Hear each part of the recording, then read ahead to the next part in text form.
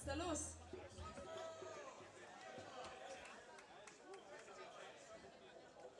Sie müssen alles wieder gut machen, was wir mal angerichtet haben.